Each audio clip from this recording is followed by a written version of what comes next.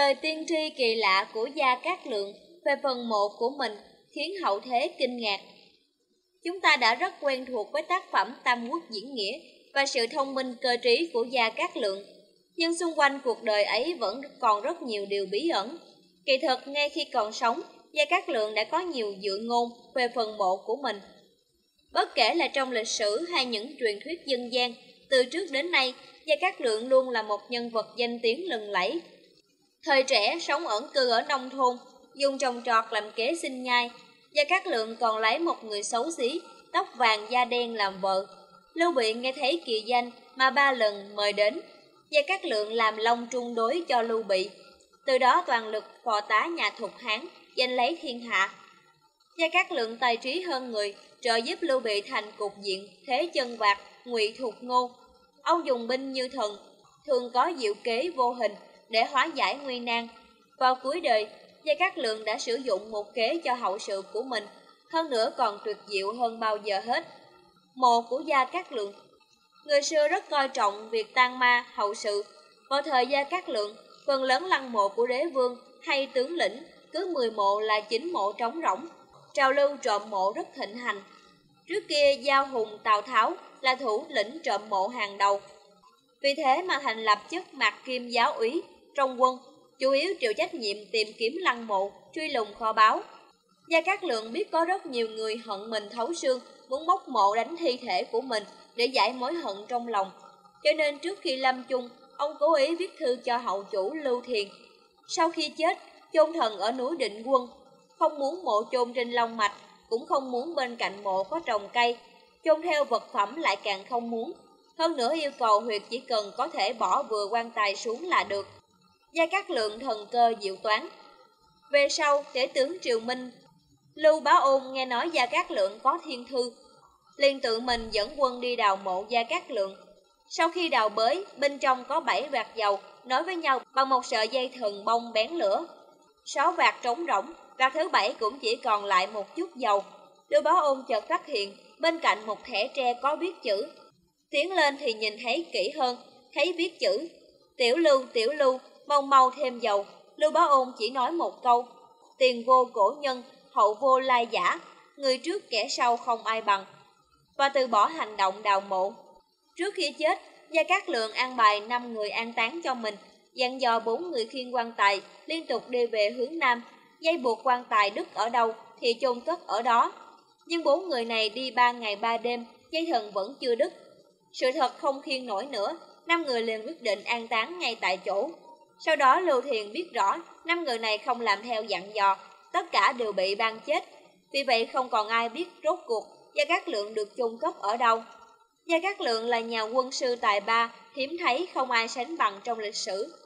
Quả thực là 500 năm mới xuất hiện một vị kỳ nhân như vậy. Có thể xem thiên tượng, thông hiệu cổ kim, khoa học kỹ thuật hiện nay cũng không thể sánh bằng. Vì sao Gia Cát Lượng rất tài hoa nhưng vẫn một đời chung thủy với người vợ xấu ma chê quỷ hận? Nói đến Gia Cát Lượng, ai cũng biết rằng ông là một nhân vật nổi tiếng thời Tam Quốc về tài năng quân sự với một bộ óc thế kỷ. Chuyện về ông có lẽ cả ngày kể không hết. Nay chỉ xin mạng đàm đôi điều về chuyện ngoài lề của ông, câu chuyện tình hy hữu của một nhân vật tài kiệt xuất trong lịch sử Trung Hoa. Tài nữ nghìn năm khó kiếm, Người đẹp được nói đến ở đây là Hoàng Nguyệt Anh.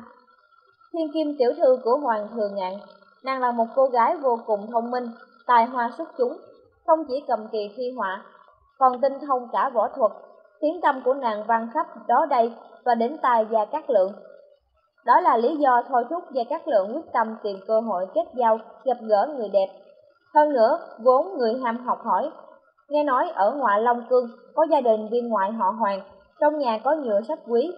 Gia Cát Lượng bèn tới đây, dựng liều tranh ở gần để tìm dịp hội kiến, mong một ngày có thể gặp gỡ Nguyệt Anh, lại vừa có cơ hội mở rộng trí tuệ. Nói về tài nữ Nguyệt Anh, lời đồn thổi về nàng vẫn chưa hết. Ngoài là một bậc kỳ tài, tính cách hiền diệu nết na, thiên hạ còn đồn về nhan sắc ma chê quỷ hờn, dáng vẻ thô kệch của nàng. Gia Cát Lượng nghe tiếng đã lâu, quyết chí phải gặp một lần, nên đã đến phủ hoàng thường ngạn, hay tin đó, Hoàng Nguyệt Anh đã chuẩn bị nhiều thứ để thử thách ông. Bà đưa ra hàng loạt câu hỏi cho họ gia để thử tài người đến cầu hôn mình. Truyền thuyết kể rằng, Gia Cát Lượng lần đầu tới Phủ Hoàng, đã rất cao hứng. Khi tới nơi, ông đẩy cổng bước vào, đột nhiên hai con chó rất to ở hành lang, giữa hai căn nhà chính nhảy chồm ra và lao thẳng tới chỗ Gia Cát Lượng. Một A Hoàng ở dưới mái hiên thấy vậy, liền chạy đến dùng tay phát mạnh vào trán hai con chó. Thoáng chốc, hai con chó đã dừng lại, không nhảy lên nữa. Khi A Hoàng kia véo tay hai con chó, thì chúng rất ngoan ngoãn và nhanh nhẹn đi về chỗ hành lang, rồi ngồi xổm xuống. Gia Cát Lượng ban đầu có chút hoảng sợ, nhưng sau khi nhìn kỹ mới phát hiện ra hai con chó này là hai cổ máy được làm từ gỗ. Ông liền bật cười ha hả. Hoàng thường ngạn ra nghênh đón Gia Cát Lượng, thấy vậy cũng bật cười vui vẻ. Gia Cát Lượng nhìn thấy Hoàng Thừa ngạn, bèn khen hai con chó được chế tác thật thần kỳ. Hoàng Thừa ngạn nói, con chó gỗ là do tiểu thư trong lúc rảnh rỗi đã làm chơi, không ngờ lại khiến tiên sinh sợ hãi thật, thật là có lỗi. Gia Cát Lượng vừa đi vào vừa ngắm nhìn bốn phía và thấy trên vách tường có treo một bức tranh vẽ cảnh vườn hoa. Hoàng Thừa ngạn lập tức giải thích, bức tranh này do tiểu nữ vẽ, xin đừng chê cười. Sau đó Hoàng thượng ngạn lại chỉ vào luống hoa rực rỡ bên ngoài cửa sổ và nói, những chậu hoa này đều do tiểu nữ một tay trồng, tứ tiêu, nhổ cỏ và chăm bón. Biết đây là người con gái hiếm có trên đời, Gia Cát Lượng vô cùng mừng rỡ, chờ ngày lành tháng tốt, nhất định tới đây hỏi vợ. Hoàng Nguyệt Anh có thực sự xấu đến ma chê quỷ hận. Có người cho rằng, trên thực tế, Hoàng Nguyệt Anh là cô gái có nhan sắc mỹ miều, xinh đẹp tuyệt trần, nhưng lại cố ý đeo mặt nạ xấu xí để tìm được người anh hùng thực sự của đời mình. Thế nhưng tại sao Hoàng thừa Ngạn lại loan tin con gái mình xấu xí cho người ngoài biết? Thực chất ông muốn tìm cho con gái mình một người không vì tiền tài, không vì nhan sắc mà có thể trở thành một người đàn ông thực sự của đời cô, một anh hùng cái thế. Vì thế chuyện loan tin mục đích là để thử thách lòng kiên trì của bản lĩnh, cương nghị của Gia Cát Lượng mà thôi. Và quả thực, Gia Cát Lượng đã bất chấp lời đồn đại, kiên định với lòng mình, để từ khám phá đến chinh phục được người con gái ấy. Lịch sử thì vẫn là lịch sử, cho tới bây giờ, thông tin Hoàng Nguyệt Anh xấu, ma chê quỷ hận, hay nàng cố tình che giấu vẻ đẹp của mình để thử thách Đức lan Quân, vẫn còn là một câu hỏi chưa có lời giải đáp rõ ràng. Nhưng có một điểm mà mọi người đều đồng ý, nàng thật sự là một người phụ nữ vô cùng tài hoa xuất chúng, thông thiên văn, tường địa lý, bác quái ngũ hành, kỳ môn độn pháp, ngay cả binh pháp, thứ chỉ dành cho đấng mày râu, Nguyệt Anh cũng vô cùng am hiểu. Cái đẹp trong mắt mỹ nhân không phải là cái đẹp vật chất, đẹp bề ngoài, mà là cái đẹp đến từ nội tâm tâm hồn, có vẻ đẹp đó ngàn năm bất phai, nghìn người khó kiếm.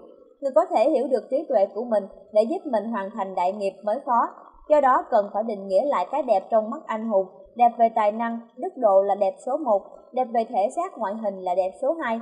Người nào mà hội tụ được cả hai thì đó chính là tuyệt đại mỹ nhân. Nên không có gì sai khi nói Hoàng Ngược Anh thật ra rất đẹp, đẹp trong con mắt của vĩ nhân. Sau khi Gia Cát Lượng cưới Hoàng Ngược Anh về, hàng xóm láng giềng đều chỉ nhìn bề ngoài mà mỉa mai nói, đừng ai học khổng minh lấy vợ quá xấu. Nhưng họ đâu biết được rằng khi chứng kiến chú chó gỗ, bức tranh vẽ, hoa cỏ Gia Cát Lượng sớm đã biết được tài năng của Hoàng Nguyệt Anh. Cái thời điểm ở Hoàng Phủ, Gia Cát Lượng đã biết rõ đây chính là người mà ông tìm, thậm chí ông còn cho là mình phải may mắn mới cưới được người vợ hiền đức lại tài năng như thế này. Tu thân tề gia mới trị quốc bình thiên hạ được. Hoàng Ngược Anh sau khi thành vợ của Gia Cát Lượng đã trở thành một hậu phương vững chắc cho Gia Cát Lượng để chồng có thể đặt hết thời gian và tâm trí vào việc quốc sự. Tất cả việc lớn việc nhỏ, từ trồng trọt nấu cơm cho đến việc hiếu hỷ, gia đình họ hàng, một tay bà đều thu xếp thỏa đáng. Đặc biệt không những với vai trò là một người phụ nữ chu toàn, bà còn góp một vai trò rất lớn cho sự nghiệp binh pháp của họ gia sau này. Người xưa quan niệm muốn thành đại nghiệp, trước hết phải tu thân, tu sửa đạo đức, nuôi dưỡng tâm hồn, đồng hóa với đạo, đạt đến cảnh giới tư tưởng thanh cao, trí tuệ hơn người, sau đó còn phải tề gia. Và để giải được vấn đề này, để có thể toàn tâm toàn ý xuất sơn, phò tá lưu bị hoàn thành đại nghiệp. Gia Cát Lượng cần lắm một người phụ nữ thay ông làm việc này, chăm sóc con cái, lo toan gia đình, quan tâm họ hàng gần xa, và người có thể làm được điều đó không ai khác chính là tài nữ Hoàng Nguyệt Anh. Bản thân bà cũng biết rõ, khi mình về làm dâu họ gia thì cũng sẽ giúp chồng hoàn thành việc tề gia này, để ông có thể yên tâm làm việc lớn. Đó chính là cái mà người xưa gọi là tìm người, phải tâm đầu ý hợp vậy. Tâm quốc diễn nghĩa miêu tả gia các lượng lục xuất kỳ sơn bảy lần bách mạnh hoạch, uy trấn Trung Nguyên. Phát minh ra một loại phương tiện vận chuyển mới gọi là trâu gỗ ngựa máy, giải quyết được việc vận chuyển lương thảo cho hơn 10 vạn đại quân. Loại phương tiện này còn tiên tiến hơn phương tiện hiện đại vì nó không cần năng lượng. Để binh lính có thể chống chọi với sơn lam chướng khí, ông phát minh ra gia cát hành quân tán, ngoà long đan.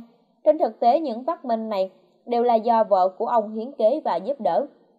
Có thể thấy rằng công lao của Gia Cát Lượng cống hiến cho thuộc quốc là không hề nhỏ, nhưng nếu không có Hoàng Nguyệt Anh, người vợ đắc lực làm trợ thủ sau rèm, thì liệu khổng minh tiên sinh họ Gia có làm thành công như vậy? Cảm ơn các bạn đã theo dõi. Đừng quên đăng ký kênh để cập nhật những tin tức hấp dẫn mỗi ngày. Hẹn gặp lại các bạn ở bản tin tiếp theo. Take it take my body. Take our bodies high.